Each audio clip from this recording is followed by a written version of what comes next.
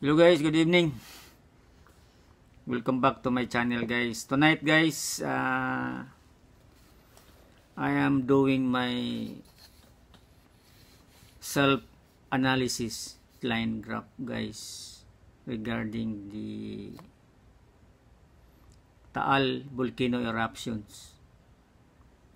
I am doing this one guys for our safety also. I will analyze what's going on if there is an volcanic tsunami in Batangas area? Our safety is very important here in uh, below Batangas area guys because the Dasmariñas is the elevation is lower than the elevation of Batangas area and Tagaytay area uh, I will work overtime tonight. Okay guys uh, just follow my analysis line graph. Maybe it can help also some of our citizens out there.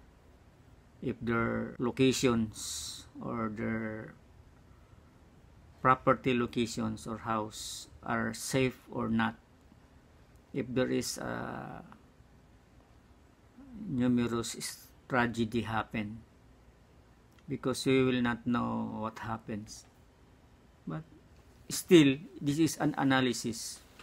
Still we will pray because God knows all. I'm doing research also about this elevation guys. Because it, we will base the elevation. If something happen of the Taal volcano erupts and it will cause uh, volcanic uh, tsunami or some flying objects. I can check if here in the Marinas will be affected guys. Okay guys uh, follow me and I will show you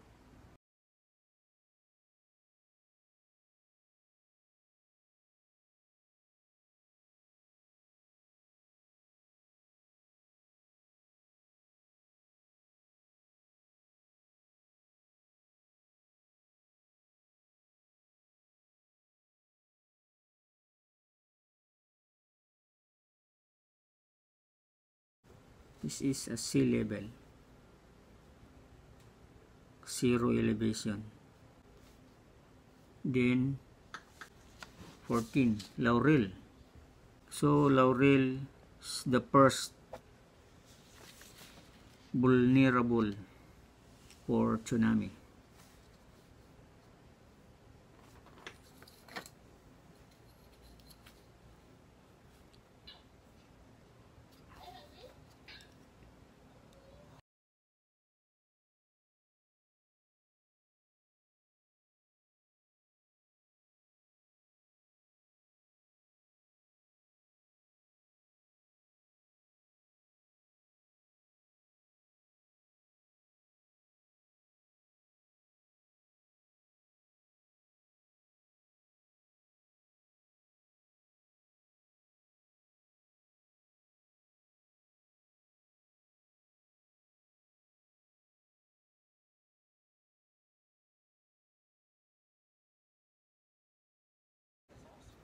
So the highest elevation is Tagaytay guys. 592 meters. Tagaytay.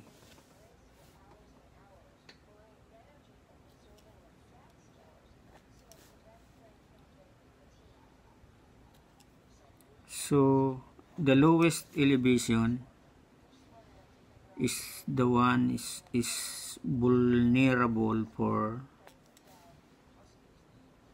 volcanic tsunami guys. Or lava or stone or what is the, do you call the horizontal explosion from the vul from Taal volcano guys. So this graph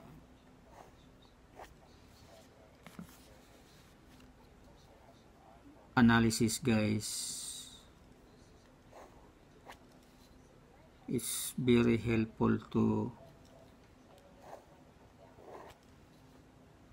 construct a conclusion if Taal volcano will explode hazardously. Is the wall of Taal Lake.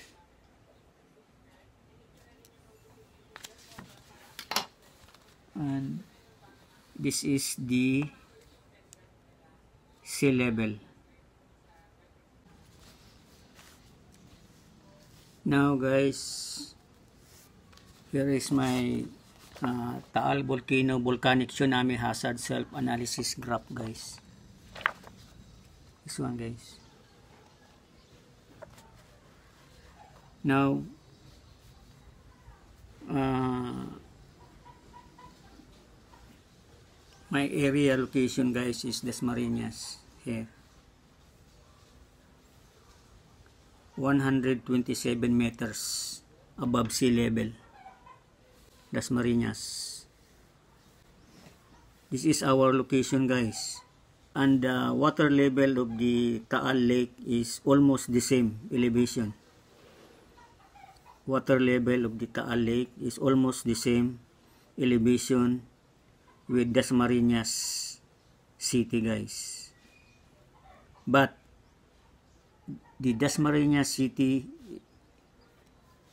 is safe guys because it is behind Tagaytay city.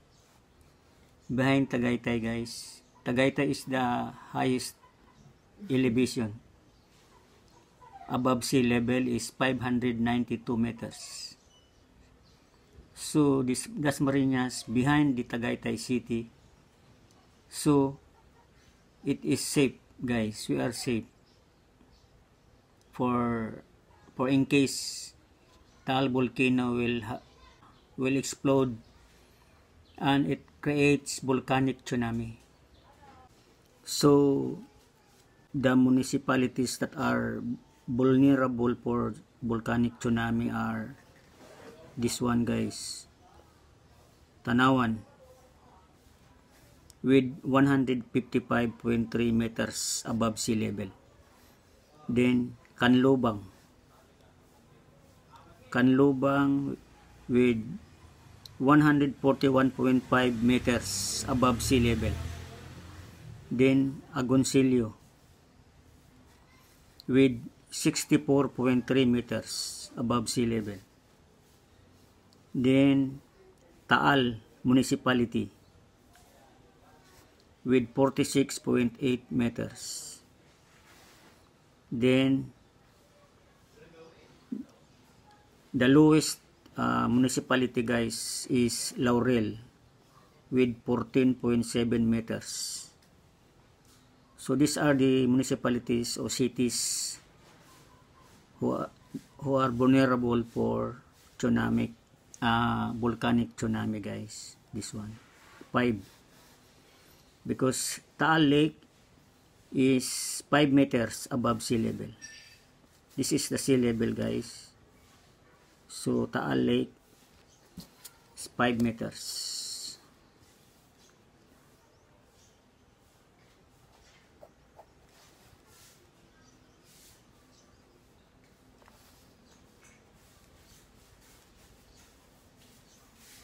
Above sea level.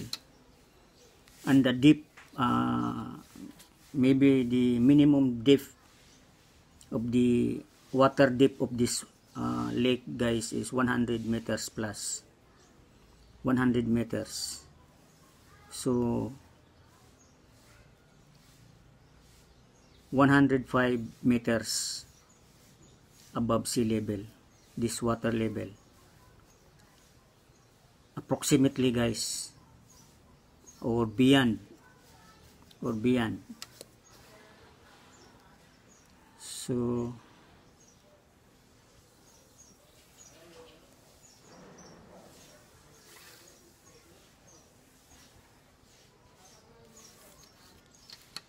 So Dasmariñas City is almost the same as the water level of the Taal Lake guys. But Dasmariñas City is behind Tagaytay with 592 meters. So Tagay, uh, Dasmariñas City is safe for volcanic tsunami guys. This is my self uh, analysis guys for me to be uh, calm and safe to be in peace or what do you call that one guys peace of mind so this is my line graph guys regarding Taal volcano volcanic tsunami hazard self analysis graph.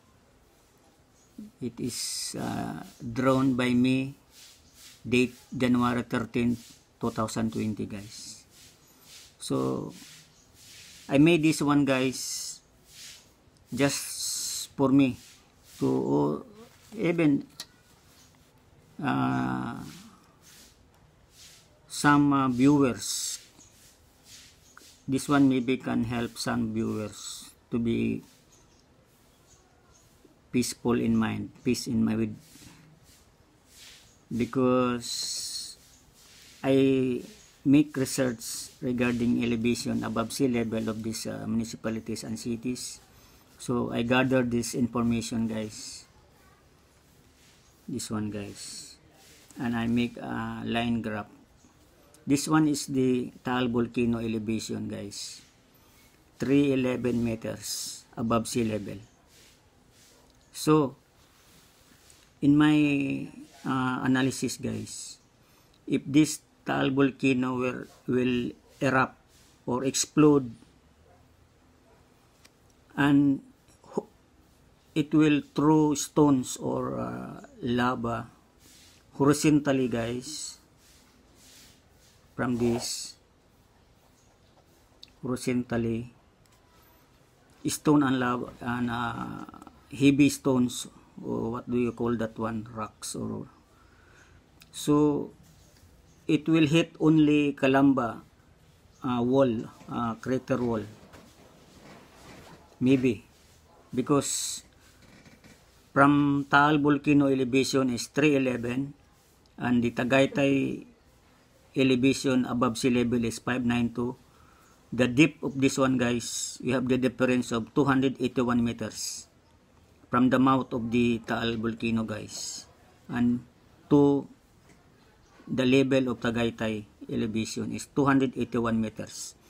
So if the, if Taal volcano will explode horizontally maybe he can throw stone not above Tagaytay.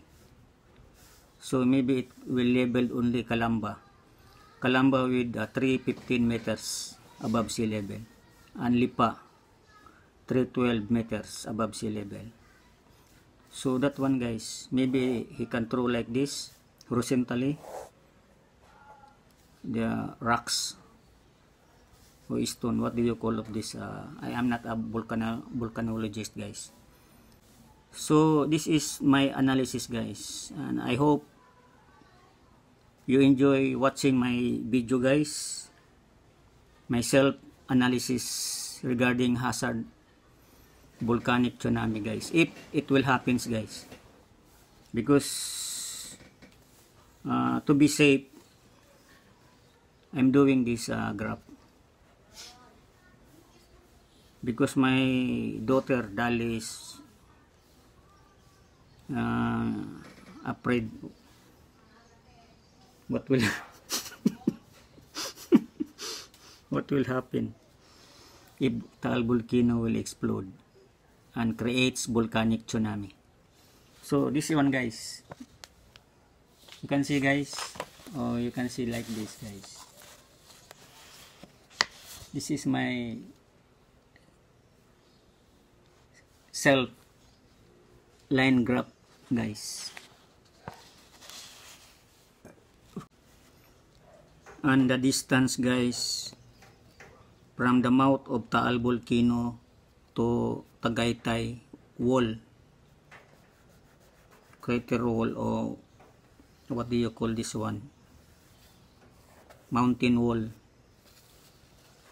Is is 10 kilometers guys from the mouth of Taal volcano to Tagaytay wall 10 kilometers So guys,